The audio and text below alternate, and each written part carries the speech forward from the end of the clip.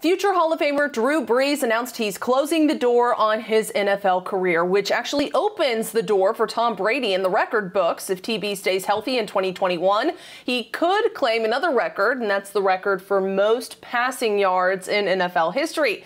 Right now, Brees tops the book at more than 80,000, but Brady only trailing that total by a little more than 1,100 yards. Still, this is, again, just another notch in the list of records TB already laid claim to, like most touchdown passes and most passing yards in the postseason. Tom Brady congratulated Drew Brees following his retirement announcement Sunday and also thanked him for the inspiration.